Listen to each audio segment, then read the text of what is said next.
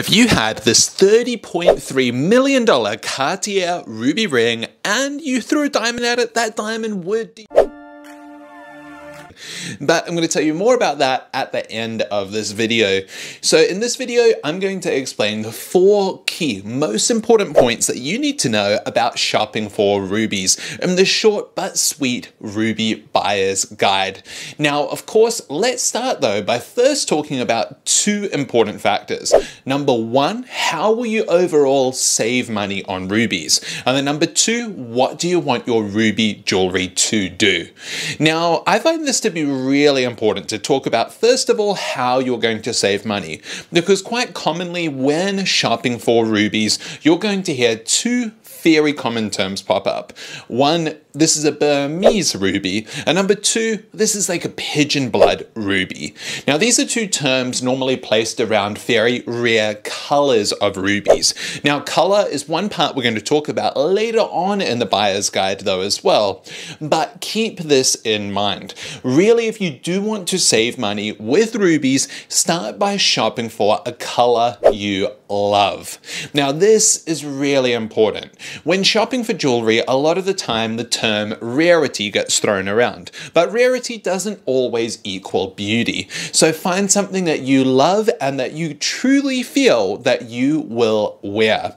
Because whether this ruby that you buy ends up being $500 or it ends up being $50,000, it all ends up being just about the same amount of value if it ends up staying in your jewelry box for the same amount of time. So make sure when shopping for color, forget about the whole rarity side of things and look for something that's beautiful and something that you truly believe you will wear. Now that is already one key about saving money surrounding rubies. Now the second part is what do you want your ruby jewelry to do? Now a lot of people bring this up to me often and they'll say, Levon, you know what, I just don't see myself wearing it. It just, it's not the right color for me red. Now, this is where you need to think about what it is you want your jewelry to do. Are you looking for something that's a statement piece? A statement piece doesn't just mean the size of the ruby, but it also means the setting that it's then placed within as well. Do you want something extravagant surrounding that ruby with diamonds? Or are you after something a little bit more plain? Like are you after a ruby piece of jewelry that is a ruby piece of jewelry? Or are you after a diamond piece of jewelry that has rubies within it. You have many to be able to pick from, from so many different designers out there as well, but go into the store with this already in mind. What do you want it to do?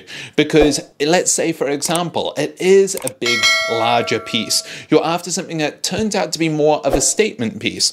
A statement piece, when you're talking about a piece of jewelry featuring rubies, is a piece that you're going to be able to wear when you're wearing a single color.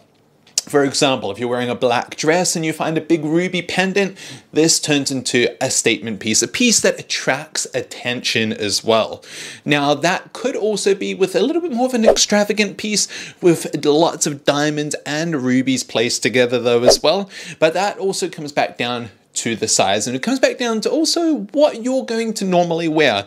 Now let's get into the buyer's guide and the four important points that you need to know before you start shopping for rubies. Starting with point number one. Color, color, and color. Color is the most important factor when it comes into the price of a ruby.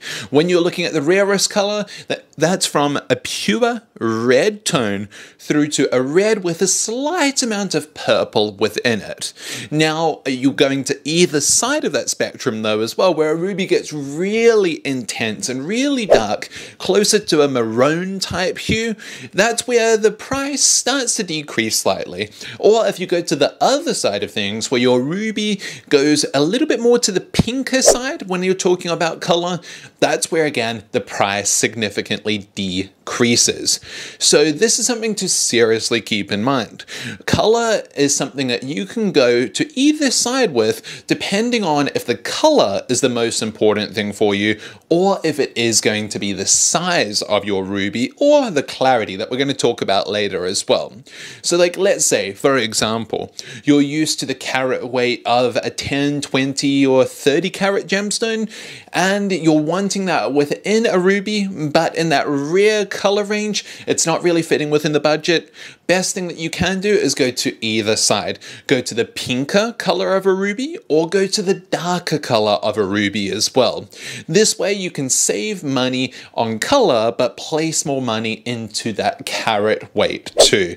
Now of course if you are wanting to start that way and maybe you're thinking my taste might change over time and you might want to go to something a little bit more intense in color then as well, then I would say it's also important to shop around for a jewelry store that allows you to trade that piece back in over time.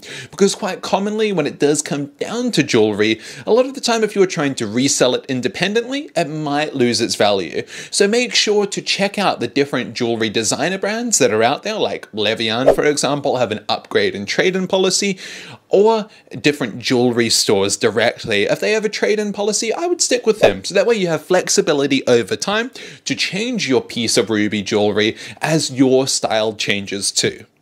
Now let's talk about the next part, part number two in the Ruby Buyer's Guide. Now I did not tell you about this part, but make sure to stay to the end of the video because I'm then also going to tell you a fifth bonus tip when it comes into buying rubies, and that's talking about the metal that it's then set in. The metal that it's set in then highly can affect the color you see in your piece of ruby jewelry. Clarity. Clarity is a huge factor when it comes into rubies and different price points. Now rubies without inclusions are practically non-existent. So if the jewelry store that you're shopping at shows you a ruby without inclusions, make sure to ask for a certificate with it, just to make sure this ruby is natural and it is not lab grown. Lab grown rubies are a significantly different price point compared to natural rubies. Now I'm not going to go into too much detail with the different names of inclusions here uh, and exactly what they mean, but here are some images to give you a little overview of some of the terms you might hear jewelers tell you when they are selling you a piece of ruby jewelry. You might hear about needles, silk, color zoning, and fingerprints. Basically, long story short, if you can visibly see an inclusion or visibly see something in your Ruby that just does not look right, then that is an inclusion. Now, not all inclusions are bad. Some inclusion patterns in a Ruby can actually create something called asterism. Asterism is kind of like creating a Ruby with a star on it. You can see the image on the screen showing you what that looks like. That actually makes that Ruby be extremely, extremely valuable though as well. Now, of course, if you can visibly see an inclusion in your Ruby and that's not something that you're okay with, then I would definitely say ask to see something else. Otherwise, this is a huge area where you can potentially save some money with as well. Depending on the color of that ruby, some inclusions that I've mentioned might actually practically be invisible too. So make sure to check different pieces and have a close look for yourself so you truly know what you are getting. Now let's move on to the next point. Now before we do talk about cut, let me tell you a little bit more about that $30.3 million Cartier ruby that I mentioned at the start of the video. This was actually a world record ruby. They sold this at Sotheby's. Sotheby's is an online auction house, well, and an in-person auction house though as well. In 2015, they sold this magnificent ring, setting a world record as well. The carat weight of it was 25.59 carats. Now, I want you to tell me down in the comments, who do you think will set the next world record for a ruby piece of jewelry? Quite often, these records are set by either Christie's or Sotheby's auction house. Maybe you think it'll be a different auction house. Scrolling down into the comments and let me know. Now, let's talk about the cut. Now, talking about cut, this this is actually really important because the crystal of a ruby is actually grown in a shape that allows ovals and cushion cut rubies to be the easiest shape to cut from the crystal. Now do keep this in mind when you are shopping for rubies because you still are going to find trillion cut, marquise cut, pear cut as well and rounds too. But these shapes are most commonly cut from larger crystals or crystals that are shaped in a different way compared to the normal. This normally is going to mean that those rubies that are cut into those shapes, apart from oval and cushion, are generally going to be of higher quality, either meaning they're a higher color or they are a higher clarity. Now this can mean there is a slight premium placed on different shapes as well. So keep this in mind for when you are shopping for rubies because you might just find yourself getting a slight discount when it comes into an oval or a cushion though too. But still remember, jewelry is meant to be worn. If the piece you end up buying just ends up sitting in your jewelry box and you don't wear it because you don't love it, well then it doesn't matter if you end ended up spending 10% more or 10% less from picking a particular cut. So keep that in mind, beauty should always come first. Now let's talk about the next point when it comes into buying rubies, which is point number four. Now let's talk about carat weight and we're going to keep this really simple. If you find a one carat ruby that is $1,000 then you're looking at the same quality of a ruby but that's in the 10 carat range that's not going to be $10,000. As the carat weight increases the price per carat will increase with it. Also the other additional factor that can add in on top of not just an increase in carat weight if the piece is created by a specific jewelry brand or a designer jewelry brand, whether that's Tiffany's, Cartier, Le Vian, any brand as well. Then the store is going to charge you still something for the workmanship that goes into that piece.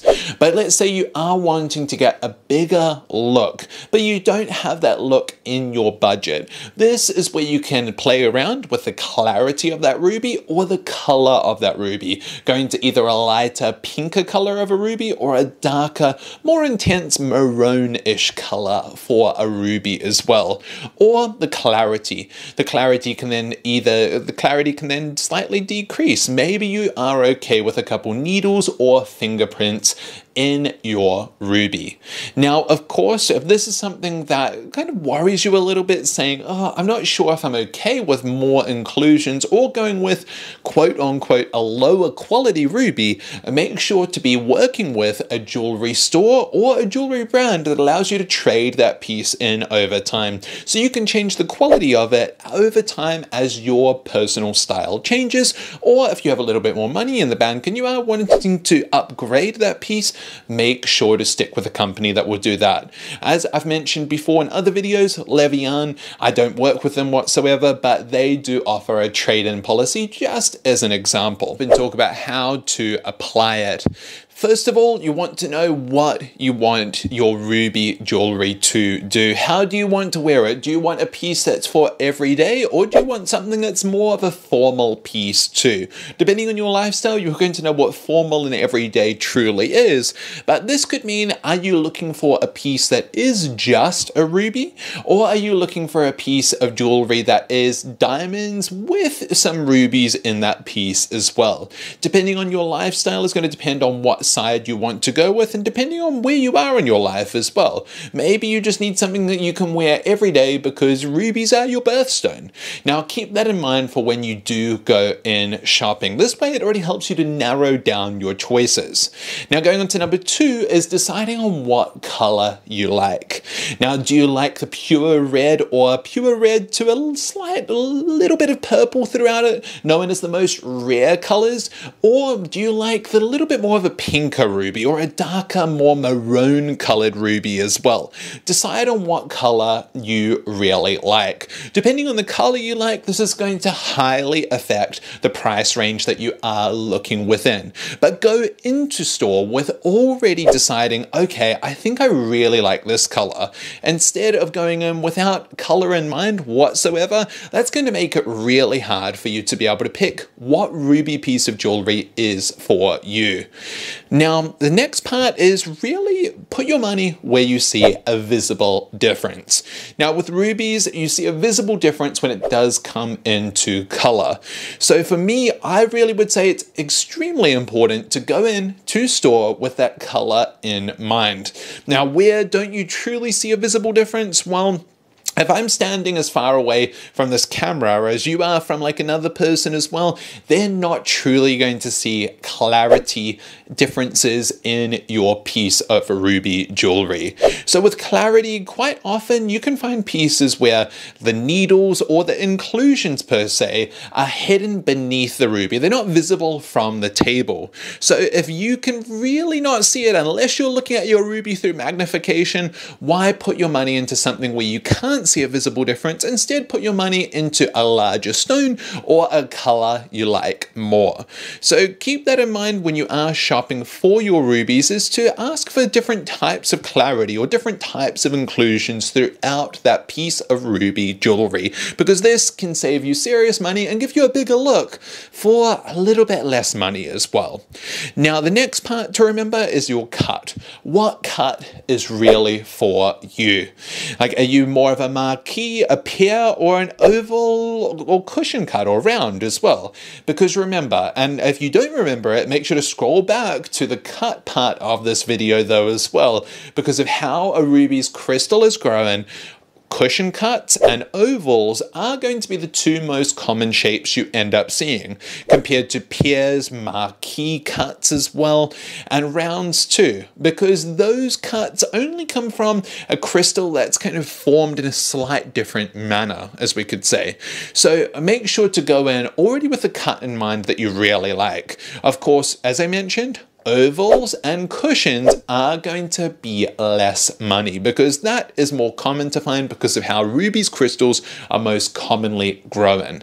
Now, of course, going past cut though as well and really wrapping this all up is remember always to buy what you love.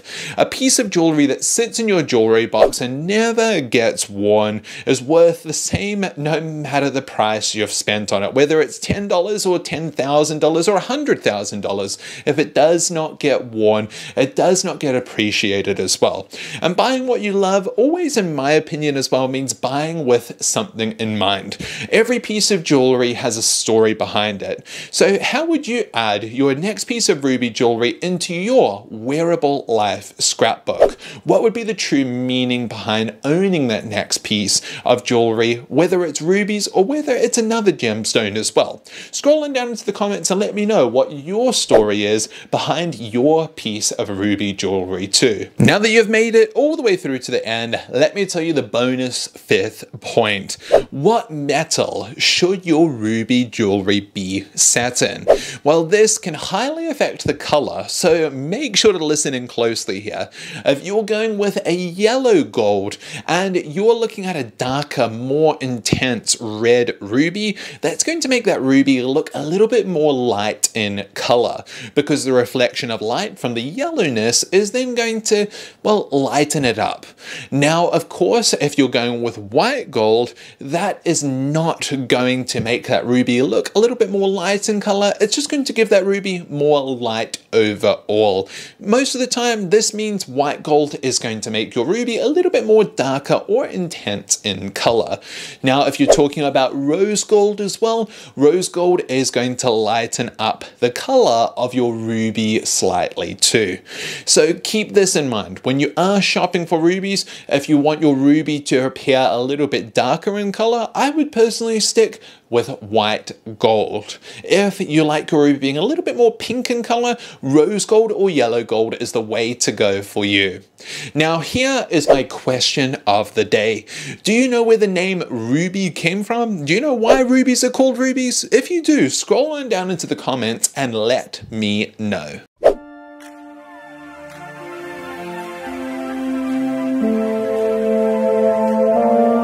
This 30 point with a slight amount of purple. That doesn't make any sense.